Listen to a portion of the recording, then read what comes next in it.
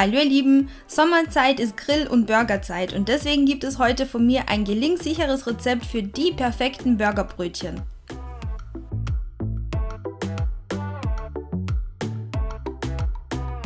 Wir brauchen Mehl, Milch, Zucker, weiche Butter, Eier, Salz und Hefe. Für eine glänzende Glasur etwas Sahne und ein Eigelb und natürlich Sesam zum Bestreuen. In die Rührschüssel meiner Küchenmaschine gebe ich das Mehl zusammen mit dem Salz und in eine andere Schüssel fülle ich die Milch und erwärme diese. Wichtigster Tipp aller Zeiten bei Hefeteigen, die Milch darf nicht zu heiß sein und das kontrolliert ihr einfach indem ihr euren sauberen kleinen Finger 30 Sekunden lang in die Milch haltet. Ist euch nicht zu heiß, passt die Temperatur auch für die Hefe. Zur Milch kommen jetzt Zucker und Hefe dazu. Natürlich könnt ihr auch Trockenhefe verwenden und die Mengenangaben findet ihr bei den Zutaten. Verquält kurz die Eier und gebt sie zur Milchmischung dazu.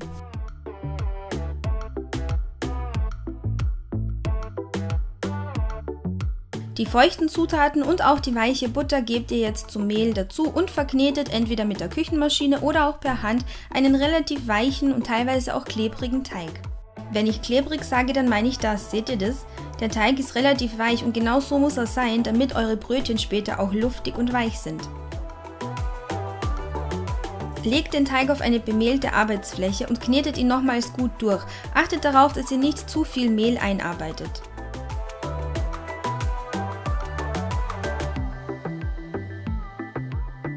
Seht ihr das, wie weich und elastisch der Teig ist, wenn man ihn so hoch zieht? So sollte er sein.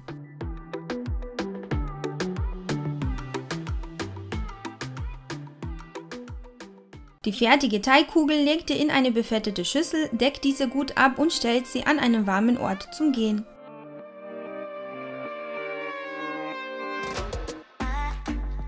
Lasst den Teig ungefähr 45 bis 60 Minuten gehen, bis er sein Volumen verdoppelt hat.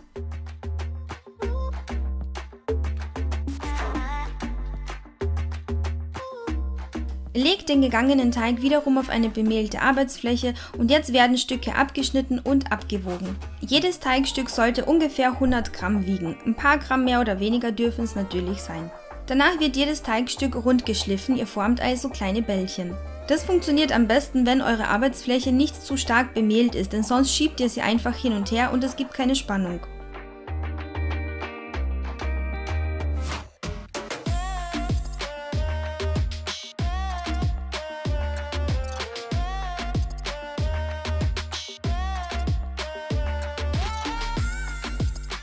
Bemehlt die Bällchen ein bisschen und legt sie in ein Backblech, welches ihr mit Backpapier ausgelegt habt. Achtet darauf, zwischen den Bällchen genug Abstand zu lassen, da sie ziemlich aufgehen werden. Jetzt folgt die zweite Gehzeit und bei mir dauert es ungefähr 35 bis 40 Minuten, bis sie sich nahezu verdoppelt hatten. Für die rustikale Variante verwende ich so eine Sprühflasche und besprühe sie einfach mit etwas Wasser und bestreue sie mit Sesam. Alternativ könnt ihr einen Pinsel verwenden und sie auf diese Weise bestreichen.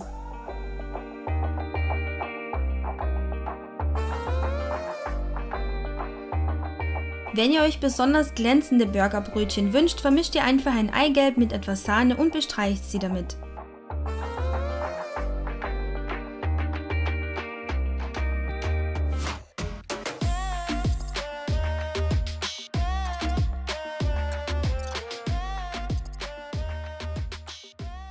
Jetzt wandern die Teiglinge in den Ofen bei 190 Grad Ober-Unterhitze für ungefähr 15 Minuten und danach noch weitere 5 bis 8 Minuten bei 180 Grad.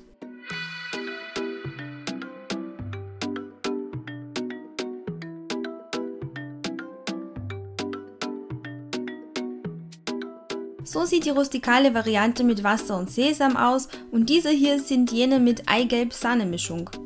Egal für welche Variante ihr euch entscheidet, beide sind richtig schön weich und luftig und schmecken richtig gut. Also sie erinnern geschmacklich an Brioche, sind allerdings nicht so süß. Das ist für mich das perfekte Burgerbrötchen. Es hat von der Unterseite eine schöne Bräunung und wenn man es zusammendrückt, dann bläst es sich wieder auf. Da seht ihr dann, dass es innen schön weich und vor allem auch durch ist.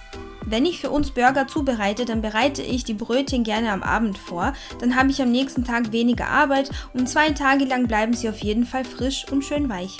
Falls ihr euch jetzt denkt, hm, 14 Stück sind mir irgendwie zu viel, kein Problem, ihr könnt die Hälfte davon einfrieren und so habt ihr immer Vorrat, wenn ihr gerade Lust auf Burger bekommt. Im nächsten Video zeige ich euch dann, wie ich Burger zubereite. Und wenn euch dieses gefallen hat, dann gebt mir einen Daumen hoch, abonniert meinen Kanal und drückt auch gerne das Glöckchen, damit ihr Benachrichtigungen zu meinen zukünftigen Videos bekommt. Vielen Dank fürs Zusehen und bis zum nächsten Video.